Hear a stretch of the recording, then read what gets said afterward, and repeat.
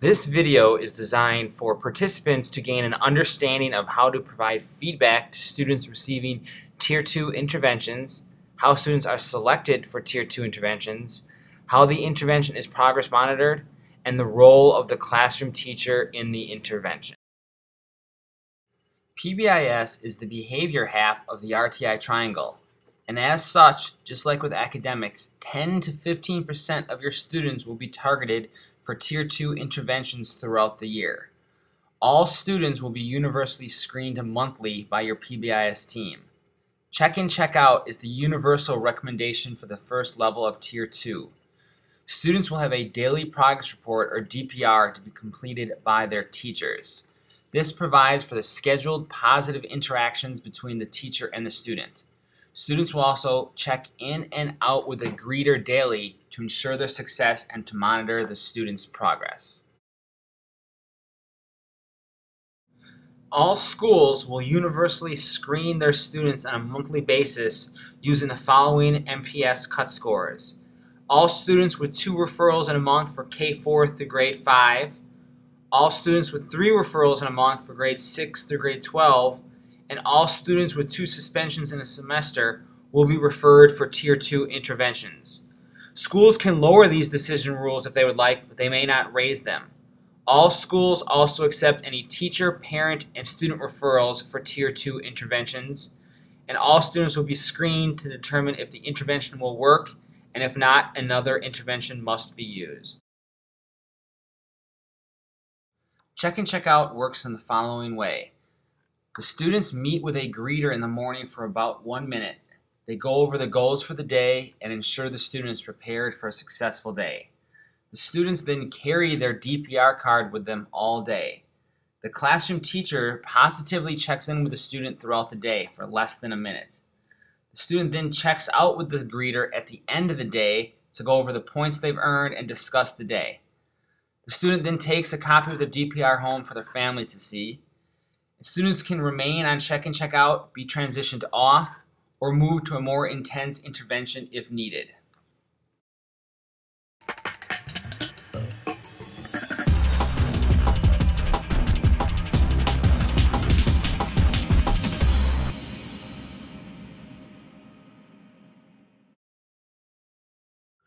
There are some elements of check-in, check-out that will occur behind the scenes.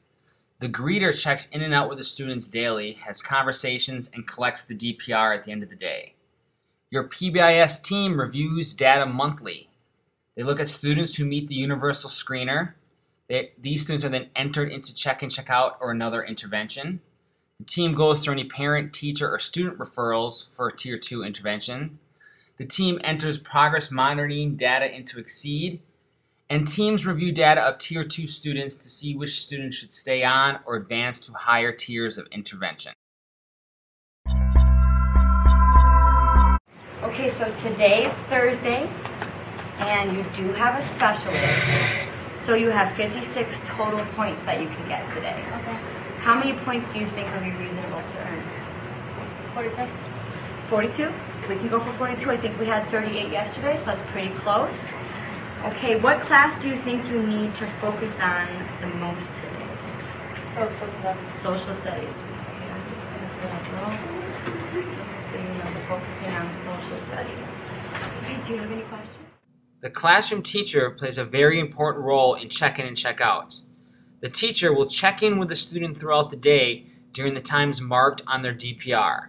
This will be done when not interrupting instruction so you can find a time when other students are engaged in activity, taking a quiz, or etc. The teacher's job is also to remind the students to check in with them. The most important part of check in check out is to have a positive interaction and conversation with the students. You should talk about what they are doing well with their behavior, what areas of their behavior they can improve, and provide corrective feedback and suggestions on how the student can improve their behaviors. The classroom teachers are the ones administering the intervention through their regularly scheduled positive interaction with the student. And it is crucial to have these on a daily basis. All students receiving a Tier 2 intervention will carry a DPR, or Daily Progress Report. The DPR has the school-wide expectations on it broken up about chunks of time.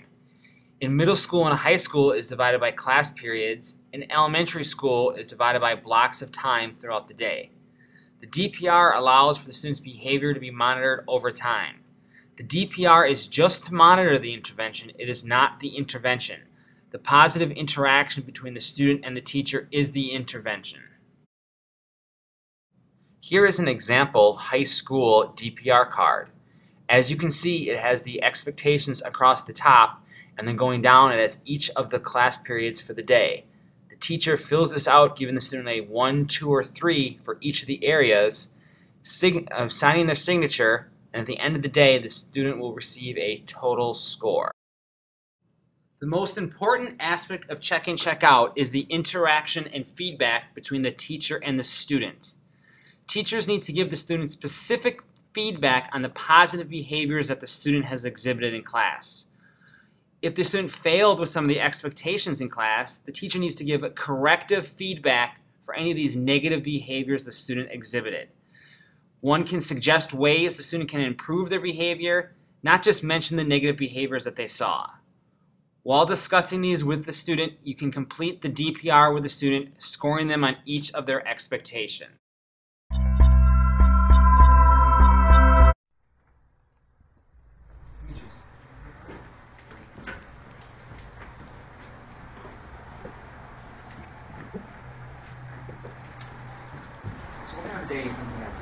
Good. Good? What were two of the things you did very good today? Um, stayed on task and did my work. Excellent.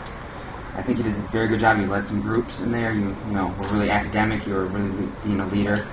So what about being respectful? Following appropriate language, listening, which up three on that. Excellent. But being responsible, arriving on time, following the rules, being prepared. Good for that. What about being safe? Following all school rules. Excellent. Okay, Perfect day today. Excellent, Demetrius. Have another great day tomorrow. Thank you.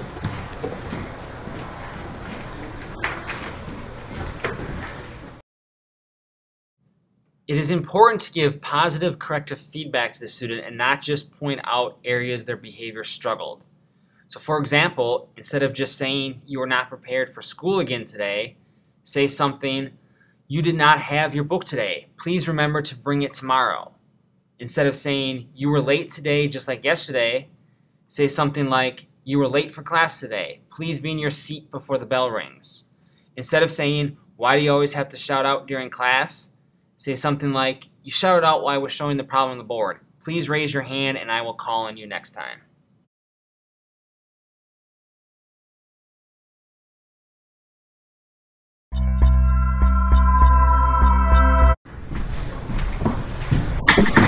How do you think you did today? Um, bad. What do you think are the things you could have improved upon today? Um, I could have came in one time and I could have not been talking so much. What's something you can do tomorrow to make sure you're on time? Um, get up early. Get up earlier? That's excellent. So tomorrow let's work on getting up a little bit earlier so we're here on time. What about the talking in class? Something you can do. Don't talk until after class. Don't talk until after class. Maybe you can get a little piece of scrap paper and write down the things you want to say to your friends during class and just hold on to it. Then after class you can kind of remember what you want to talk to them about. Or one thing I thought you did very well today is you were leading your group. Like you really had a lot to say about what we were talking about. Let's keep that up, keep it academic when we're talking and all that. So for being respectful, I think you're respectful to your peers today? Yes. Yeah. I think that you're very good. We'll give you three. Being responsible, arriving on time, Go for much. a one, so you can try again tomorrow. And then following the rules, being quiet in class. No. So we'll give you one for that as well. So, you know what we can improve upon tomorrow and have a great day tomorrow. Yeah. Thank you. Thank you. Please take a moment and pause this video and discuss as a group how would you give corrective feedback to the students in each of these situations.